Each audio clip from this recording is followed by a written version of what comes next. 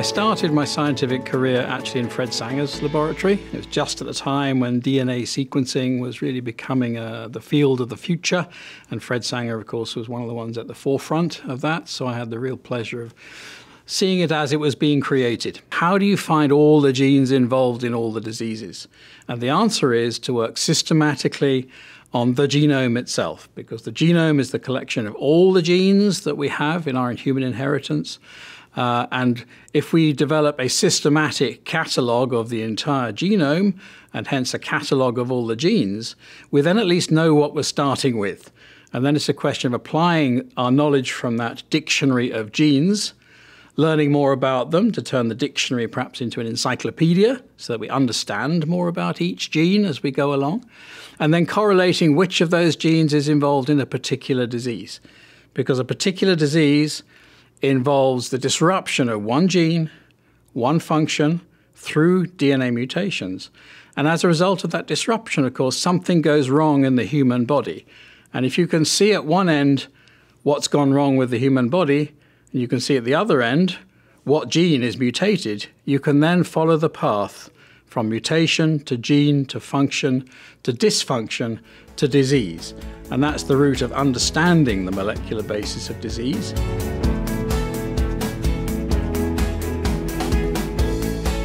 Think one of the key milestones in, in the, the preparation or, or the lead up to the field of, of genomics and the genome is undoubtedly technology. You could go all the way back, indeed, in Cambridge to 1953, uh, where the, the structure of the DNA double helix was first expounded in the model by Crick and Watson, supported by the data from, from Maurice Wilkins and Rosalind Franklin. The Crick and Watson uh, paper described uh, the fact that digital information was stored in the DNA, passed from cell to cell and generation to generation, copied faithfully, very unlike many biological processes.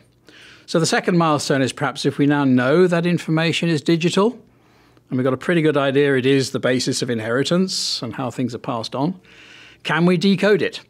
And so if I move to the next breakthrough, it is the DNA sequencing, which I was very fortunate to be at least a little part of, experiencing it. Uh, Fred Sanger, uh, the, the, the, developer and inventor of Sanger sequencing, uh, really revolutionized our ability to decode pieces of DNA. Uh, the third milestone is well, it's all very well decoding a piece of DNA and spending months chasing a gene, but how do you do the whole lot? how do you get the concept of the genome? Back in the early 80s, there was a big debate about whether to just sequence the genes and take advantage of the fact that DNA encodes RNA, which encodes proteins. So let's just look at the RNA because that's where the genes are, are being expressed. And let's not bother about the rest of the DNA or the rest of the genome because the genes are only encoded in 2%. The rest was widely described as junk DNA or DNA we don't know what it does, but it doesn't matter because it's not the genes.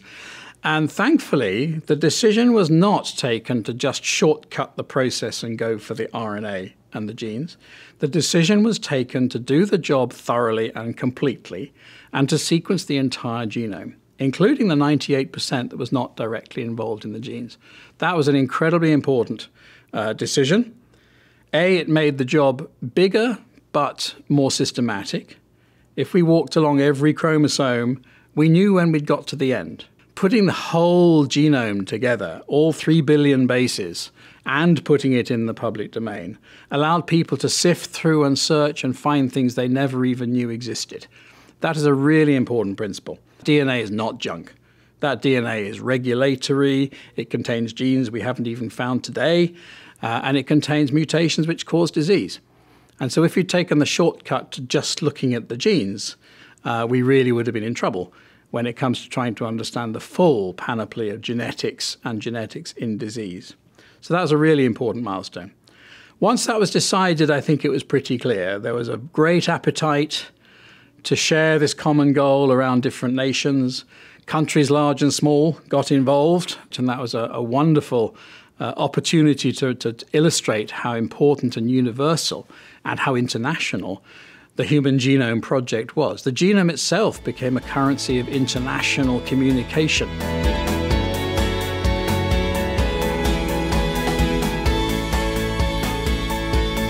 So we're at a very exciting time in terms of applying genomic information from DNA sequencing, from whole genome sequencing, from panels, from arrays, and possibly RNA sequencing, and seeing how this fits in the healthcare and health management uh, of disease uh, for, for, an individual. Uh, today, uh, the, the, the, forefront of these applications for human health uh, are rare genetic disease, which typically manifests early in life, not always, but quite often in the newborns or the, the very young, uh, where a single gene is knocked out. It can be any gene, it could be one of 4,000 genes, it could be one we haven't seen before. But this has been a remarkably uh, productive area where genome sequencing uh, has been effective at taking us from a diagnostic rate of maybe 5% up to 60%. So 60% of cases in some of these groups, we can now find the cause of the disease, and very quickly, uh, and in a way which actually costs a lot less money than the standard of care. Uh, and indeed, if the answer is found quickly, it can save money in the management of the disease that follows on. Now, it's only here today for a very small fraction of people around the world. And so already that area and the great opportunity is to say, well, what about all the other children in the world who have rare genetic diseases. So that's a massive area for the future, and, and we're doing a great deal to, to make it more accessible and usable. But this is not just Illumina's challenge. The future is that the adoption needs to become commonplace, it needs to become routine, it needs to fit into nationally funded healthcare systems, it needs to fit into privately funded healthcare systems, it needs to be translated to hundreds of other languages around the world and to areas with different levels of investment that can actually be brought to bear per capita of the population. Those children are being born all over the world in all sorts of environments. So that's one area where the, the future really is to go from these very fortunate few uh, to a global uptake of this process and to be able to, alongside that, see how better to treat, how better to make a difference to the families, and to see that translated around the world. Uh, the second area is a well known area uh, of, of prenatal testing, testing the fetus to look for possible problems and to provide options, whether it's options for treatment, options to prepare for the care of the individual, uh, and all decisions which a family may take, plus also telling them something about will it happen again uh, or, or, not. So these are all fundamental questions, and some of these can be asked in the prenatal testing. Now, previously, prenatal testing has involved a very invasive procedure to take a needle, to stick it into the abdomen of the mother, to take a few cells that are very close to the fetus but not part of the fetus, or in some cases, take a chorionic villus sample, which actually is fetal cells uh, as part of the placenta. And these highly invasive procedures do carry some risk. As you can imagine, taking a great big needle and putting it very close to a fetus, that carries some risk. Things can go wrong. So, non invasive prenatal testing, or NIPT, aims to completely resolve that risk. No needle is used, or at least no needle goes anywhere near the fetus, but instead a blood sample is taken from the mother. So non-invasive or minimally invasive. A blood sample is a fairly routine thing that most people will accept, uh, and the mother is all too uh, uh, pleased indeed to avoid the invasive test and to opt instead for the non-invasive prenatal testing to take a small blood sample from mum and from that to be able to sequence and find potentially, in some cases, uh, some genetic abnormality which can tell a great deal, can provide a great deal of information about what's going to happen next and what may already have happened, even though the child is unborn. So that's a second area which is extremely valuable. Uh, it's extremely important. And both these two areas, the rare genetic disease of the newborn and the unborn child, of course, these are the areas where we want to make a difference most of all. This is where a whole life is possible.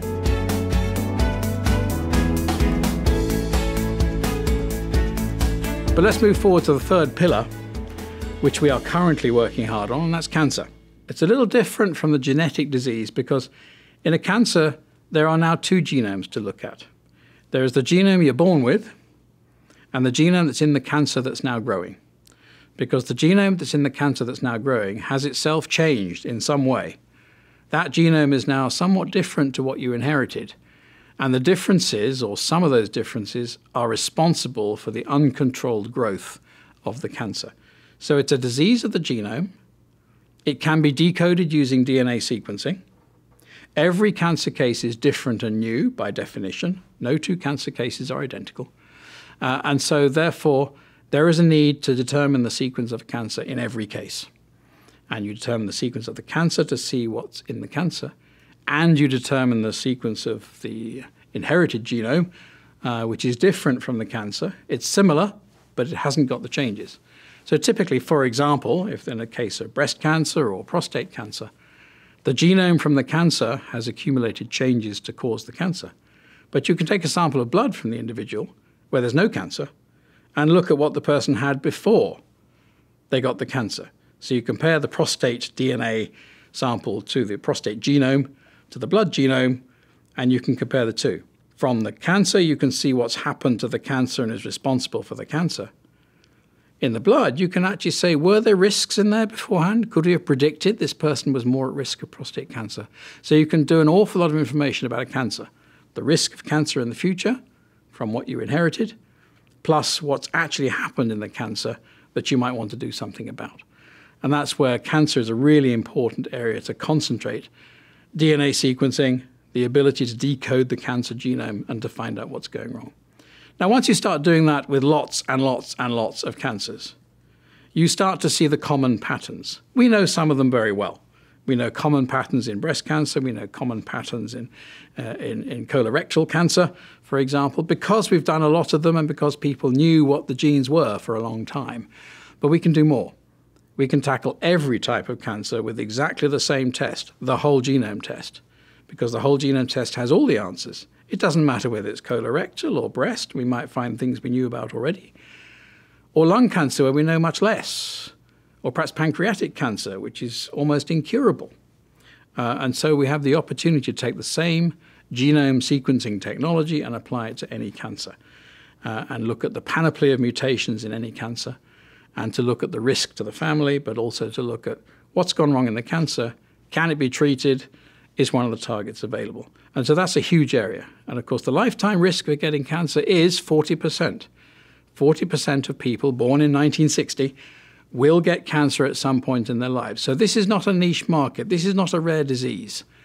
But it's also a complicated disease because you've got the cancer genome as well as the, uh, as, as, the inherited genome. Uh, so that's a very important area which we are focusing a lot of time on. And let's move on to one other way in which genomes can really help uh, the improved precision and treatment of cancer. This is through the profile of the cancer. Every cancer is different. It's a new case. Uh, it wasn't there at birth. Uh, it arises at some point after birth because of some change, and that change is only in the cancer cells, and the cancer grows and it accumulates more changes and eventually becomes life threatening and potentially fatal. And people then apply various treatments. There is surgery, but there are also chemotherapeutic options, drugs which can be, be used to actually try to kill the cancer. Many of these are relatively non-specific today, so they also kill all your other growing cells, and that's what makes you feel very sick. So what we need are much more precise treatments that target the cancer and not your other living cells. And this is where we can start to make much more use of the profiling of the DNA in the cancer. Because if we profile the, uh, the DNA in cancer, and if we do the whole genome, we will essentially see most or all of the changes in that cancer. And so what we start to see is not just the ones we know about, the genes that we've known for a long time, but we start to look at all the others and we start to see some changes maybe we've never seen before.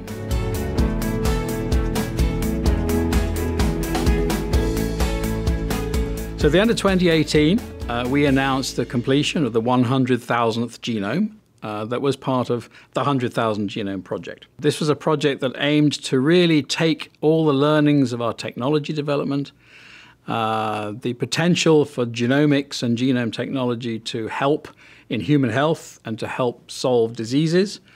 It focused on rare disease, rare genetic disease, and on cancer. And we aimed to set it in a national environment. So this was really not just one laboratory, not just one research cohort. This was a national initiative involving England uh, and uh, the, the, neighboring uh, countries within, within the United Kingdom to actually systematically find a way and test every step of the way from taking a patient, their DNA sample, their consent, right through to processing and sequencing the entire genome, capturing the spirit of the original Human Genome Project. We weren't just doing the genes, we were doing the whole genome because the answer would be in there somewhere for every, any disease, whatever it is.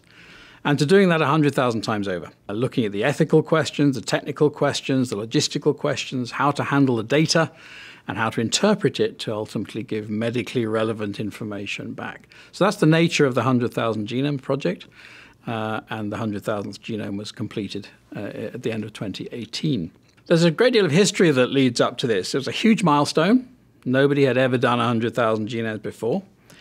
Uh, at the peak of our production, we were sequencing 8,000 in a month, uh, and that's a pretty challenging infrastructure to set up and to keep going. And of course, this has all been done for the first time. But let me take you back to some of the history and as to how it got started. Because people ask me all the time, and people ask each other, how did it happen? What do I have to do to do it in my country? And the answer is probably many countries are different. Uh, but the UK story does have a number of, of, of lessons uh, that are, are, pertinent. The first thing that happened, I think, is that a series of collaborations, small test pilots. Uh, Illumina was involved in a number of these collaborations. We met with doctors, with scientists. We talked about the idea of doing genomes. It all seemed very big and very difficult. But because we had the technology, we knew what we could do in the future. So we set up collaboration to say, what if? What if you could sequence a genome quickly? What if you could do it every time? What if you could do a few thousand a month? Uh, and people took a while, perhaps, to think about it, but some people latched onto it pretty quickly. And, and we started to set up collaborations where people would say, I've got just the patient for you. And we said, That's great, let's sequence it. So we uh, knocked off several milestones along the way. We did a cancer genome. We did a patient who had cancer several times in their lifetime to monitor the progress of disease. Uh, and in various ways, we explored what might be possible in single examples and then a few small groups. Uh, we collaborated with a number of centers uh, and uh, actually accumulated experience ourselves. And they also accumulated experience and familiarity with what was now possible. Their eyes were opened through collaboration.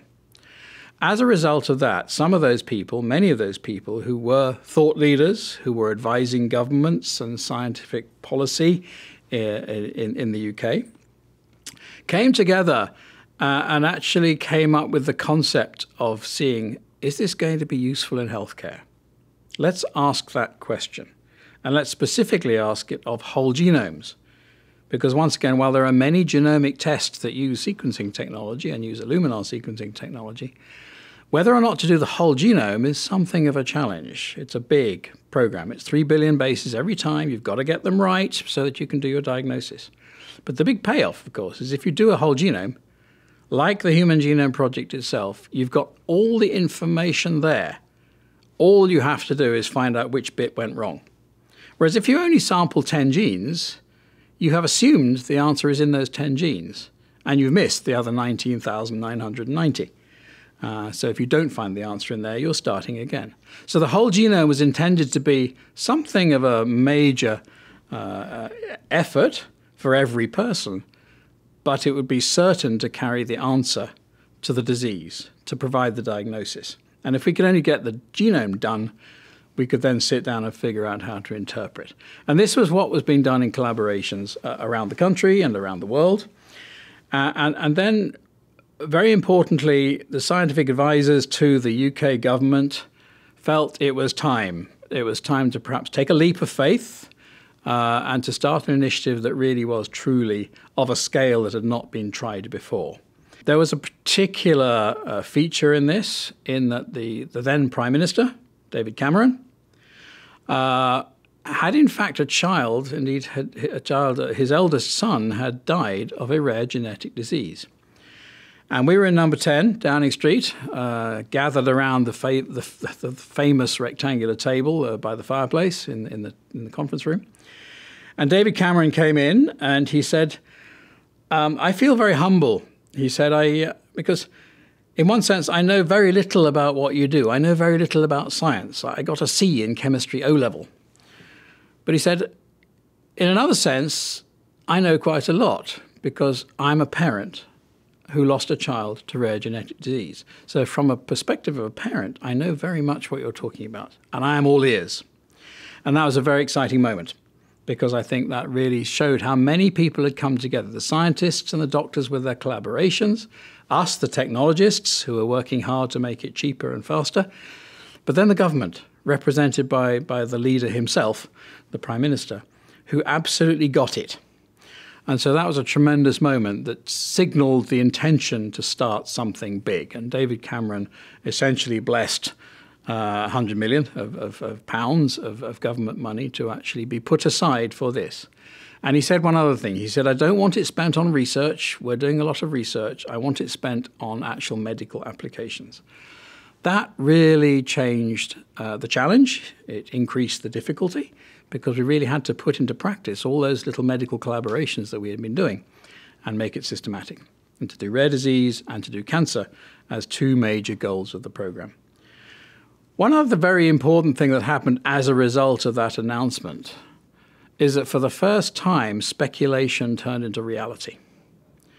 Because until that moment, we had no idea if anybody wanted to spend money on human genome sequencing. We had the technology, um, but interestingly, when the announcement came out at the end of 2012 that David Cameron was going to make 100 million pounds available to be spent on this, on whole genome sequencing in a medical context. That sent ripples around the world, but it also sent ripples through Illumina. Because Illumina suddenly had a clear sign that this could be a real future market. And as a result, Illumina actually fast tracked its development of the high end of our technology to actually develop sequences that could sequence whole human genomes. Whereas until that point, we didn't know. So already the partnership between the UK government and Illumina was forming, each was affecting the other without even knowing it. But as a result, we all started converging on the same path towards the idea of sequencing whole human genomes in a medical context. And Illumina started beavering away on its development. We continued to work on our collaborations. We looked at discussing things with the government in negotiations. Uh, and so that process started to accelerate and converge on what was to become the 100,000 Genomes Project. One other important milestone in that the particular group in Cambridge, an old friend of mine, 20 years we'd been working together, also was very captured by the imagination of the idea. Uh, and, uh, uh, and actually, we started a 10,000 genome project a year before the 100,000 genome project started. That was a smaller, simpler, relationship. It just involved Cambridge University Laboratory. Uh, Willem Ouwehand was the principal investigator, and a prominent uh, uh clinical geneticist as well, Lucy Raymond, uh, and others. And we got together in Cambridge to start the first 10,000 genomes. And that gave us practice of a large project, uh, practice in negotiations and contracts, and how to really establish such a partnership. And this became, in fact, the pilot for the 100,000 genomes. So, in fact, these 10,000 genomes are now wrapped up into the 100,000. So, the main contract only involved the remaining 90,000 genomes. But that was a very important milestone started in 2013, where we all practiced ahead of time. And then in 2014, we were back in number 10 Downing Street again, uh, this time signing the agreement to do the remaining 90,000 genomes uh, to do it at a, a, very affordable price that really made it relevant to human healthcare and to an accuracy, uh, a completeness that was also relevant in healthcare and really would support diagnosis. So that was 2014. The starting gun was really uh, uh fired August the 1st, 2014. Uh, Jay Flatley, the then CEO of Illumina, came over to England. Genomics England had now been formed as a, as a company to, to make the project happen in England. And so the CEO of uh, Genomics England and the CEO of Illumina, so Jay Flatley and John Chisholm, the CEO of Genomics England, uh, shook hands uh, in number 10 in the signing of the contract, which was quite thick, but actually it was only about two inches thick, perhaps, the document, so it could have been much more detailed. And it was a tremendous contract. We had spent weeks working day and half the night to actually flesh out the contract because this wasn't just a legal negotiation. This was a complete project plan that was being written down uh, to say how would we do it. So we wouldn't just argue the wording of a legal paragraph. We would be asking questions well, how are we going to transfer the data? How are we going to make it secure? How are we going to keep it safe? And so all these questions are being answered in real time during the negotiation process. So it was a very productive eight weeks or so uh, during the early part of 2014 that led to the signing of the contract and the starting of the 100,000 genomes project itself. So what we formed was a partnership, which was initially a partnership between Illumina and Genomics England. Genomics England acting on behalf of the government and the National Health Service. Uh, and so our primary partnership was directly with Genomics England. And we, we started to work out how to execute the contents of the contract to do 100,000 genomes. Essentially, the partnership was a, a complementary relationship, but also a, a synergistic one. So the complementary part was that we, Illumina, took on the responsibility of setting up the technology to work at a scale that nobody had done before, to sequence 100,000 genomes, to provide the data, align it, reassemble the genome to its uh, essentially uh, decoded version, and to provide that to Genomics England. And Genomics England, for its part, would work at both ends of this process. They would engage the patients and the doctors and collect the samples. They would do the consent uh, and look at all the ethical approval required for the program. Uh, they would do public engagement of both the medical professionals and scientific professionals and the general public and the patients. And then at the other end, they would take the genomes from Illumina and they would interpret them, and send reports back to the doctors uh, for return to the patients to see to what extent and how it had an impact on the understanding of the disease in each individual patient.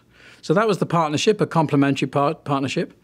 Genomics England at the start, Illumina in the middle, Genomics England at the end, and bounded at either end by the patients and the doctors themselves. And as Sally Davies, the chief uh, medical officer of the UK, said when the contract was signed, it starts with the patient and ends with the patient, and let's thank them. And that remained a very important uh, and, and, focused perspective, both for Illumina and for Genomics England, that this is about the patient. This is not about technology. This is not actually about discovery and research. This is about the patient. And let's all focus our efforts on that. So that was the real beginning of the concept of the 100,000 Genomes Project. In addition to the complementary nature of the work we did, we also partnered in a much more close sense, in that there were roadblocks. There were roadblocks that neither of us knew how to solve. And so we worked together to collaborate on those roadblocks. Particular examples being cancer samples tend to be taken from a tumor or a biopsy, and they tend to be embedded in paraffin and fixed in a way which is wonderful for looking at the tissue, but it's a hopeless way to treat DNA, so you can't sequence it. So we had to come up with a solution to this apparent conundrum that every cancer patient had its sample fixed and embedded, um, but you couldn't sequence the genome from it. And we eventually did work through a number of options uh, to get rid of the fixative, to provide alternative fixatives, and various technical developments. And we carefully evaluated the quality of the genome. How much did this affect the quality of the genome? Was it still useful for medical diagnosis? Uh, and the answer in some cases was no. And in other cases, we actually came up with protocols that worked. And Genomics England took on the process of rolling these out to the centres around the nation. Uh, that's not something Illumina did, that's something Genomics England did. But we worked together to remove the roadblocks, and we worked together to implement them as part of the 100,000 Genomes program. Towards the end of the project, which accelerated hugely in, in 2017 to 2018, uh, we went from 1,000 genomes a month to 8,000 genomes a month just in, in, in the space of a few months. Illumina are working very hard to ensure that scale up without any loss of, of quality, uh, without any loss of samples. Genomics England were working to go on recruiting patients and uh, talking to doctors about uh, who should be in the pipeline, continuing to engage the public. And that culminated uh, at the, at the end of the year, uh, end of 2018, uh, and into early 2019, where after the sequencing of the 100,000th genome, there was the continued hard task of interpreting and understanding the information and returning the, the, the reports back to the patients. And now I think uh, 75,000 reports have gone back. Uh, that is most of the results have now gone back to the patients, and we're continuing to see what the impact is on, on healthcare. The impact is clearly good. Uh, there are many results both in and outside the 100,000 Genomes Project to illustrate what the significance of the results are, how many people benefit from it, and the results have been tremendous. Within the 100,000 Genomes Project, uh, at the first pass, it looks like a quarter of the people who suffer a rare genetic disease now have a diagnosis, an explanation, and that's after just the first pass.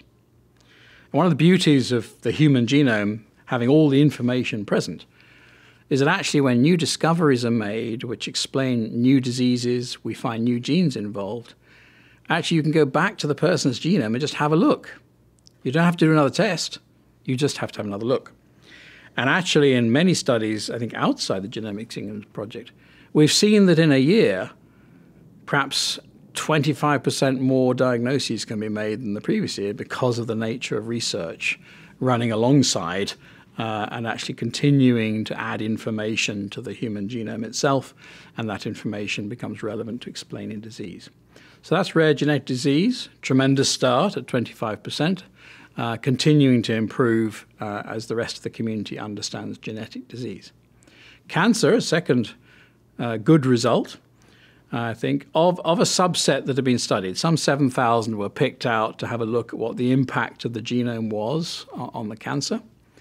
Um, and uh, I think some 50% of those cases, Genomics England, uh, the team, found a mutation or information that potentially might alter the management of the cancer patient. And that was tremendous. People said cancer was much harder. It is much harder, but it still yields some very informative results. And finally, to go back to what was one of the first promises of the Human Genome Project itself, voiced by Francis Collins some 10 years earlier, he said he thought one of the first potential benefits of the human genome would be to better understand how to prescribe drugs, how to tailor treatment to the individual, particularly the field of pharmacogenetics, where the, the pharmacies or pharmaceuticals develop the drugs, um, but which drug suits which patient? Not everybody is the same. Some people have adverse events to drugs they are prescribed. Some people have no effect from the drugs that are prescribed. And the trial and error process of prescribing a drug to, to, to fit a particular symptom uh, is, is a laborious and costly one and causes suffering to the patients. Interestingly, from the Genomics England, again, a subset of some 6,000 patients were looked at uh, for the possibility that mutations in their DNA or variants in their DNA might tell us something about which drugs to prescribe and which drugs not to prescribe. 72% of the cases they looked at actually had valuable information about how to tailor the treatment and prescription of drugs better to suit the individual. And this is a real milestone because this is, this is the illustration of the concept of tailored medicine or precision medicine, how to be more precise about treatment of a patient based on genomic information. And this is therefore also genomic medicine. And so we begin to see the whole process of the previous 20 years actually coming full circle if you sequence a person's genome, it tells you something about the person. And as a result, you can treat that person with what they really need, as opposed to treating the symptoms, trial and error, uh, doing well in some places and not in others. And this, the promise that was there in the Human Genome Project itself, the promise explicitly stated of the 100,000 Genome Project, is now coming true and that's very soon after the, the 100,000th genome has, has been developed. So that has clearly uh, provided evidence. It's not a complete, uh, completed clinical study. There, there's still a great deal of, of, gaps to fill and questions to answer. There's much more to be done. How do we get the 75% of the rare genetic diseases that have not been diagnosed? What about the other 50% of the cancers? What about new drugs that actually might be more effective for some of these? There's a whole area that will develop over the years, founded on the Human Genome Project itself and founded on the 100,000 Genome Project. How that will proceed, interestingly, is where the 100,000 Genome Project takes another leaf from the Human Genome Project itself.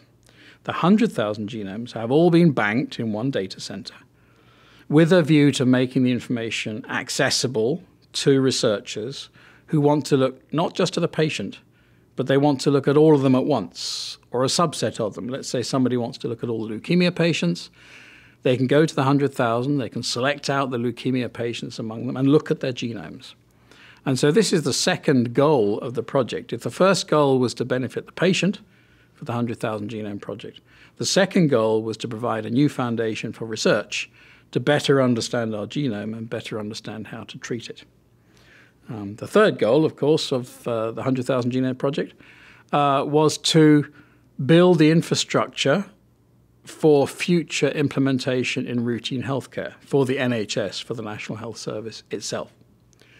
The fourth goal of the project uh, was a more national one in the sense that clearly this is a new field and it should be fostering uh, economic growth, new businesses, new research agendas, uh, and ultimately new treatments for patients.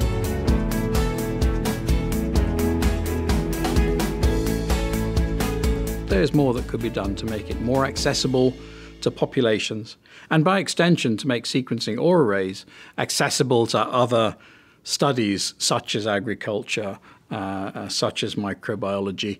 Uh, and these are areas where almost countless numbers of samples might need to be sequenced. And so the next challenge is simply managing the amount of data. Uh, and already we've done a huge amount, not, not just us, but, but the world has worked hard on managing data, compressing data. The computer industry, of course, has increased its capacity to handle data. And now we start to look at new techniques for examining data quickly to find things that we cannot, we don't even know we're looking for. Artificial intelligence, deep learning. These techniques are now being applied to DNA sequence to find things that are really important medically uh, or biologically, but we couldn't, we didn't know how to look for them before. So we have to let the data almost speak for itself. We'll generate lots of data from 10,000 or 100,000 people or more, but then we'll let the actual artificial intelligence look for the patterns and query it in different ways. And if you input various variables into an AI based learning process, uh, you can put another set of variables in another day and you can see what comes out. And so you start to let the data speak for itself with, with these methods of AI and, and learning, which will actually hopefully uh, significantly improve our ability to interpret the data we've now learned how to generate. So that's an important problem. How do we extract more information out of it? How do we look at it quickly, economically? Uh, and we're still the same humans. We can't suddenly understand 100 times more data. We can have 100 times more data, but we have to compress it back down to the same amount that we can see and understand.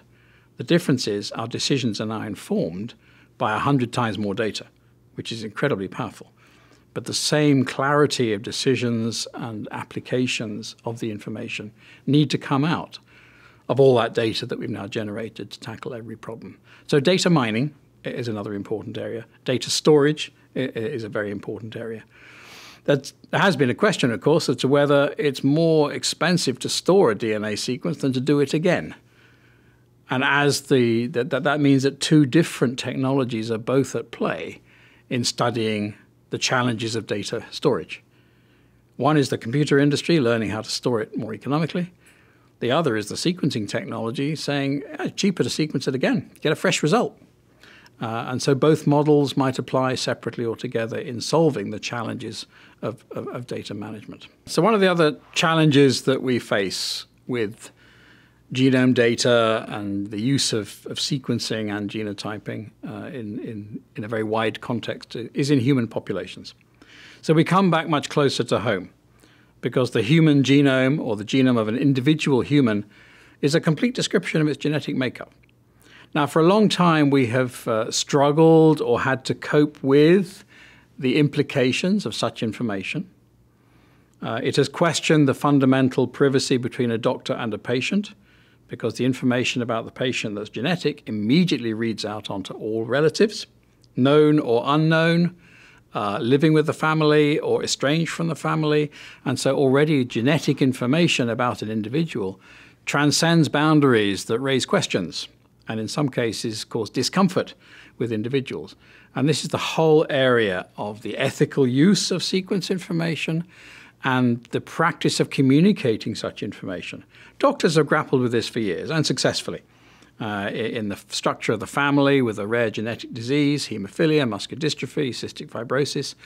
the process of genetic counseling has been uh, a profession within this area for a long time. People have learned what questions you ask, how you communicate the information, what do the people need to know, and what is not useful to know, and what is important not to communicate. And translating it from the family that might have hemophilia and muscular dystrophy, so you have a diagnosis, but then somebody's got a sister and the information might be of relevance to the sister, but in a different context from the person who has the disease, because the sister might be a carrier of a disease and future children might have the disease.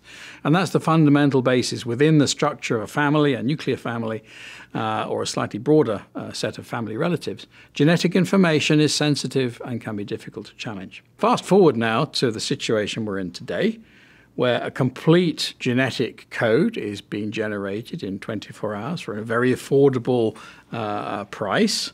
Uh, and suddenly there's an awful lot of information to play with. And this raises two questions. The first question, actually, I'll deal with is you may find things you weren't looking for. And the consent forms for genome sequencing have to make that clear you may find out things, or we may find out things that you're not expecting to, you're not asking to know about. Maybe you want to know about your risk of cardiovascular disease, but we go and find a, a high risk variant that might give rise to cancer. You didn't ask the question about cancer. Now, do we tell you about your risk of cancer, or you didn't ask us, so we won't tell you? It's very hard to know what the right answer is. And there are committees, uh, particularly the ACMG, the American College of Medical Genetics, has spent some time and some years defining what it is important to pass on, even if the question was not asked. And these in particular boil down to can anything be done? And is the health of the person threatened? So there are some codes already established for how to handle genomic information. It's just the genome is much bigger there's much more information, and there's much more of the fear of the unknown potentially from a genome. It's not like the 10 genes we all knew about. Which one have you got? Which ones do we communicate? Suddenly it's about the whole genome. It's about something the doctors don't know about. And so that uncertainty can lead to fear.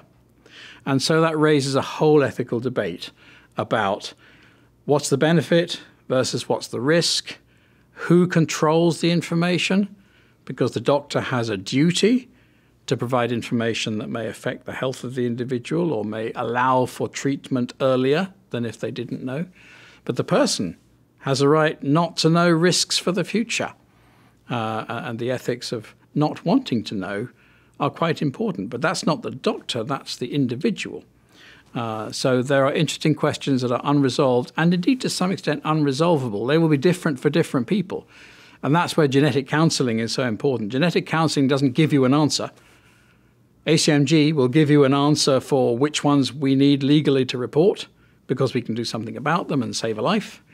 Uh, but genetic counseling is more about what do you need to know? What do you want to know? What matters to you in your family situation? So it's the individualization of how we handle the genetic information, which is a huge challenge.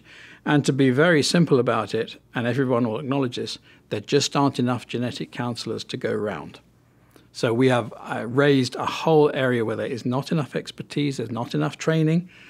It's like bioinformatics, but genetic counseling is another area where there just needs to be more expertise or more tools to accelerate the process so that it can become accessible to the much wider uh, population uh, of people who are going to confront these challenges. Um, another element to this is education because we can talk about needing a genetic counselor for every person's genome. That's an awful lot of genetic counselors.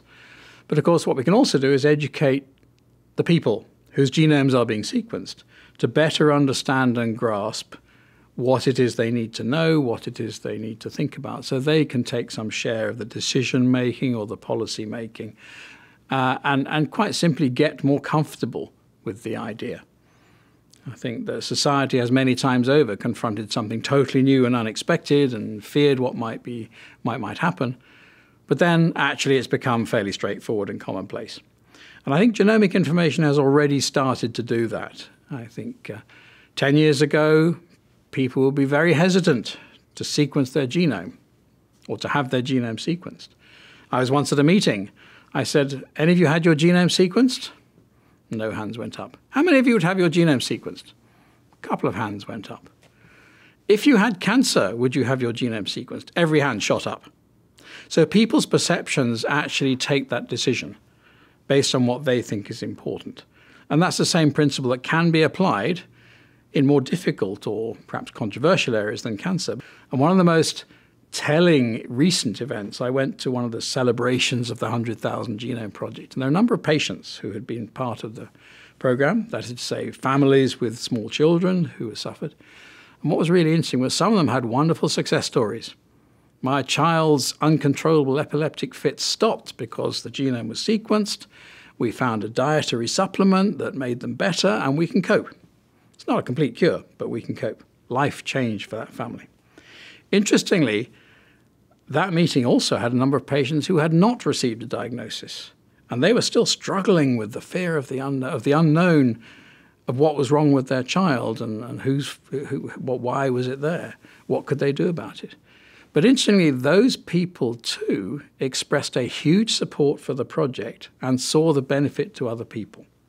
So the process of educating the population about the benefits versus the fears from experience, from experience of people in the same situation as them, even if they have a different outcome from them, they begin to understand the project. And over the course of time, through education, education of the professionals, but in particular through dissemination to the, to the general population, to the general public, and the, the outreach and the public engagement is a very important part of the Genomics England project, and it's a very important part of every national and local project that begins to settle the fears. People start to understand it because they have tangible examples uh, of the benefits. And so suddenly the, the, the, whole landscape of ethics is changing because the people are changing. So it's not to belittle the challenges that people face. There will always be ethical dilemmas. Uh, but I think there's much more than just the, the challenges that are put in front of the door of the genetic counselors. There are many, many ways in which we will evolve, we will adapt, we will get used to the idea of this information about us being useful, and then we will reassess the risks uh, of that information being, being generated. And, and gradually, I am sure, perhaps quite quickly, uh, we will ultimately see um, a general acceptance of the value of genome sequence information and genotyping information to the individual, the benefit uh, exceeding the risks uh, as we go forward.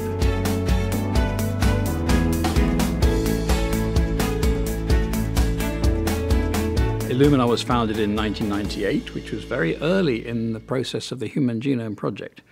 And so it was much less clear what the business model was for genomics or a genetic technology than it is now. And so, to some extent, there was a very uh, innovative th- thinking process, thought process going on within Illumina uh, to recognize the value of genetic information, uh, to look at a technology that would really extract nuggets of information, sample bits of the genome, single bases from the genome, in, and, and to choose those bases that were really informative and important and put them together on a single microscope slide or an array uh, so that we could then type individuals or determine in every individual who had which bases at each of the positions. And this was the concept of genotyping, which was born in Illumina. So Illumina's strength has been in bringing to bear its understanding of chemistry, biochemistry, physics, mathematics, computational biology, to produce something that can generate the data. Illumina will continue to play to those strengths because there's a great deal more sequencing to be done. Assays can be better, cheaper, easier to use, better to easier to, to understand, and we can play a big role in that. But the emphasis or the challenges is now moving from we don't even have a technology to do this. Well, now we do, and it'll get better. But there are also other areas, and Illumina will continue to play a role in some of these other areas. We're looking at how better to store DNA, how better to interpret the information for some diseases. But we can't possibly hope to do all that. So a much greater emphasis for Illumina is partnership. It is partnership, it is collaboration, because the whole world needs to solve this problem. And this goes back to the principle of the Human Genome Project. A very important decision was taken in 1996 to make the human genome sequence freely available and in the public domain. And that's the same concept. If you make it available to everybody, everybody will start using it, and its value will increase uh, and its contribution to the future will increase. The same thing is true here, in that if the problem to be solved is to go from the DNA of a person or a cell to an actionable answer uh, that actually can, can save the person's life or make their life better, that process is far bigger than Illumina. So Illumina can play its role best by partnering with others and making its technology and its know-how available to actually really help the other experts do their bit so that together we put together comprehensive solutions that are truly the best in the world. Not the best Illumina can make, but the best the world can make. Genetic information is really important. We don't fully realize the implications yet, but a technology that can actually extract that information cheaply, quickly, makes it all accessible to people worldwide. Uh, in contrast to a major international consortium, which cost $3 billion to do one genome, did it very well, but you can't do that for everybody and you can't introduce it into genetics or medicine. So Solexa, uh, a spin out from Cambridge, uh, at the same time, uh, and uh, my involvement in both of these was I was uh, first customer of Illumina to actually buy a system from Illumina. Uh, I was also one of the advisors that suggested Solexa should be founded uh, to actually try to tackle the sequencing problem. So it was interesting seeing the three components to coming together. Solexa uh, on the UK side, following the tr Cambridge tradition of decoding DNA. Illumina here in San Diego, uh, actually developing the genotyping method to fast track the process of decoding, and the Human Genome Project itself, which was coming along to underpin both these technologies. Uh, and the combination of the human genome sequence being available, the technology to extract the information from individuals quickly, and the third piece of the puzzle, which are the populations or cohorts or patients, those are the three components that were required to fully realize the promise of the human genome. And so Illumina was right in there from, from, from 1998 uh, with its initial genotyping platform. And of course, if we fast forward then to 2007, Illumina acquired Solexa, recognizing how far the field had moved uh, and, and, and seeing that the future lay not just in genotyping a few points across along each uh, segment of DNA, but in getting the entire genetic information replicated, copied, sequenced for every person. And so that's when the switch from genotyping only to genotyping plus DNA sequencing became a fundamental tenet of Illumina, and Illumina acquired Solexa. Um, it was a very uh, positive acquisition. Uh, it was a really uh, uh synergistic process. Uh, and since then, of course, both the Solexa technology was brought over. Um, it had a California center as well, uh, but it was brought over into the Illumina uh, um, uh, nest. Uh, and at the same time, Illumina also began to invest in the Cambridge site. And as a result, Illumina became much more international. Illumina started to be able to, to have access to all the UK and European uh, intellectual know-how uh, and the academic environment. And as a result, so Illumina became very global. So it became a leading global company with multiple technologies to decode the DNA of people and then see what to use it for in a population setting and in a medical setting. So that was really how Illumina got going. Uh, Illumina and Solexa have had in common a very innovative uh, and disruptive uh, process uh, to actually evolve the technology as it goes. Uh, Illumina moves very fast. It always has done. One of its values is to move fast and embrace change which reflects on the pain of moving fast as well as the benefits of moving fast. Uh, but it's a very important value to have and to recognize that when you're pioneering technology, it, it, can be a rough ride, it can be a very fast ride, but it can also disrupt society and make a huge difference to, to the welfare of people. Uh, and this is captured now in, in our mission statement uh, to improve human health by unlocking the power of the genome. It sums up the story that we've just been talking about. Um, so that's where Illumina and Solexa have been together. Now, if we look at the progress that's been made, just to single out the sequencing for a moment, because I'm more familiar with that field. Um, but back in 2000, We were there in number 10 Downing Street announcing the completion of the first draft of a human genome. It had cost nearly $3 billion. It had taken seven years and uh, a number of institutes in multiple countries. Then in 2008, we used the technology just after the acquisition to sequence our first human genome uh, using the Solexa chemistry and the Illumina's engineering technology. Uh, and we sequenced that genome in a few weeks. Uh, and we estimated it was about a quarter of a million dollars to do it. Um, today, we've probably improved the efficiency of the process by close to another million fold. Uh, much of that is in speed and also in cost reduction. As a result of which, today, uh, a genome is done for less than $1,000. It's done to a very high level of accuracy, and it can be done in 24 hours. Uh, so that gives you an illustration of just how disruptive and how innovative the technology has been. Putting together the Illumina and Solexa legacy, if you will, and looking at the, the, tremendous disruptive innovation which both companies, but now of course Illumina, which has acquired them both. So centralized around Illumina is this disruptive innovation the continuous investment in how to make things better, faster, cheaper, and really for the benefit of human health.